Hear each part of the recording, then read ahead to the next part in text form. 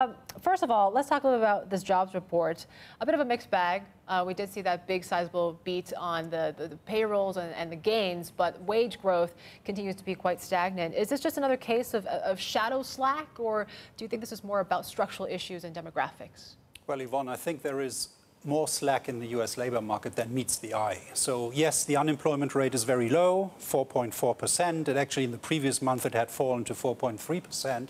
But I think there is still hidden slack, and you can see that in the absolute lack of wage pressures.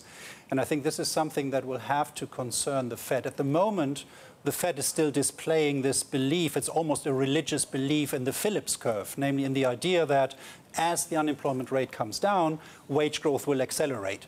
But the longer it takes, the longer wage growth stays down here, I think the, the, the more problems uh, the Fed will have. Yeah, yeah. As you mentioned a bit about the, the, the indications of slack, I want to throw uh, this chart here. It's just G hashtag BTV 9067, Joachim, and it does show that we are seeing uh, to, when it comes to U6 broad unemployment rate, the underemployment, that actually ticked slightly higher to 8.6%. So there is some indication, as you mentioned, that some slack does remain uh, still in the job market. But is it going to be any indication for the Fed to give some pause, Joachim? I mean, we're still seeing some dissent among policymakers when it comes to inflation, and we continue to see the, the Fed seems to be overlooking some of the data points of late.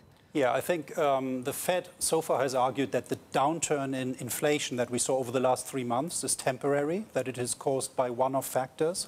But we actually think that uh, this is not just a temporary phenomenon, it's pretty broad-based uh, the turn down in inflation. So I think this will start to affect Fed thinking.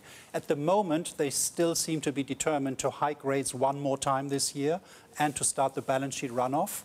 Um, but I think as time time goes by, as we see inflation below target, uh, as we get closer to year end, we actually think that the Fed will eventually not hike rates one more time this year.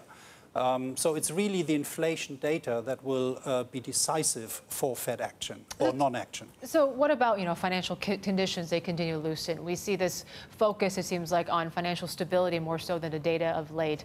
Do you think that that could actually be something that the Fed is maybe making some type of policy mistake in and focusing on these areas more so than what's going on in the economy? Yeah, I think there is a risk here. So I think, for, for, one thing, the Fed is right to have drawn some lessons from the last cycle when they hiked rates too slowly in 2004 to 2006, and they helped to pump up a big credit bubble.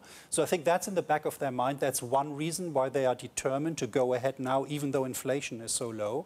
Um, but the risk, of course, is that they are cementing inflation expectations below target. Inflation expectations, whether you look at surveys or you look at market-based measures like break-even inflation rates, they are very low. They have turned down recently. They are below target. And so the risk here is that the Fed, in their attempt to steer financial conditions and to look at financial stability, that they cement inflation expectations below target. And that may come back to haunt them once we get the next downturn. Right. Because the lower inflation is when that next downturn hit, the bigger is the risk that we end up in a deflationary situation. Uh, Joachim, uh, it's Betty here in uh, New York. I want to pull up another chart here that I think just illustrates everything that you've just discussed uh, on wage pressures and what's going on in, uh, uh, in the employment market, and that is G hashtag BTV 1771, which, you know, this aqua line here, you know, just shows you why that labor force participation rate goes up, why the unemployment rate's going down. People not in the labor force are going, are jumping in, going to get, trying to get employed uh, and that a number of people who are already not in the labor force and staying unemployed is actually going down uh, and continues to go down. So uh, yes, there you go. That you know that explains what we've been talking about. I'm kind of curious when we when we talk about wage pressures.